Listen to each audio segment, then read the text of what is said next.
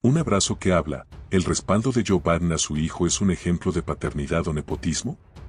En un mundo donde las figuras públicas están constantemente bajo el escrutinio, el emotivo abrazo de Joe Biden a su hijo Hunter tras ser declarado culpable de múltiples cargos ha suscitado un debate candente. ¿Es este gesto una muestra conmovedora de apoyo familiar o un caso evidente de nepotismo político?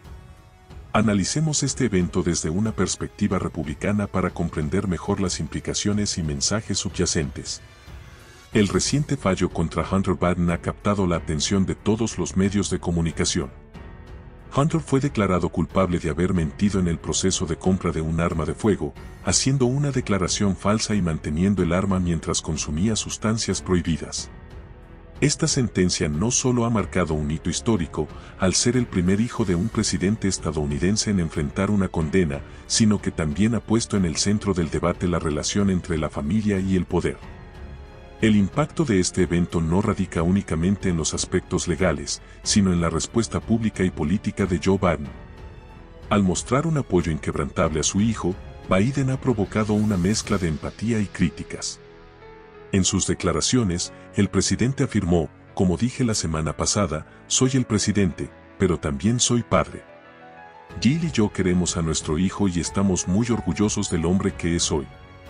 Estas palabras, si bien reflejan un aspecto humano y vulnerable de la figura presidencial, han sido interpretadas por muchos como una maniobra para ganar simpatía y desviar la atención de los errores cometidos por Hunter. Desde una perspectiva republicana, este acto de apoyo paternal puede verse como una oportunidad para resaltar la importancia de la responsabilidad y la justicia imparcial.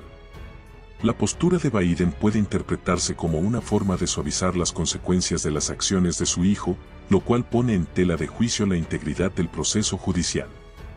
Esto abre la puerta para que los líderes republicanos reafirmen su compromiso con la igualdad ante la ley y la necesidad de que todos, independientemente de su posición, enfrenten las consecuencias de sus acciones.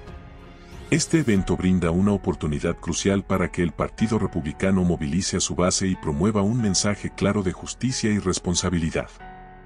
Es fundamental que los ciudadanos se mantengan informados y participen activamente en el proceso democrático para asegurar que los principios de justicia e igualdad prevalezcan. La situación de Hunter Biden y la respuesta de su padre deben servir como un recordatorio de la importancia de un liderazgo ético y transparente. En conclusión, el abrazo de Joe Biden a su hijo Hunter tras el veredicto es una imagen poderosa que puede interpretarse de múltiples maneras. Para algunos, es un ejemplo conmovedor de apoyo incondicional, para otros, es una señal preocupante de posibles favoritismos. Lo esencial es que este momento nos invita a reflexionar sobre los valores que queremos ver reflejados en nuestros líderes y en nuestro sistema judicial. Si te ha gustado esta noticia y quieres seguir informado sobre los temas más relevantes, no olvides darle like y activar la campanita para no perderte nuestras próximas actualizaciones.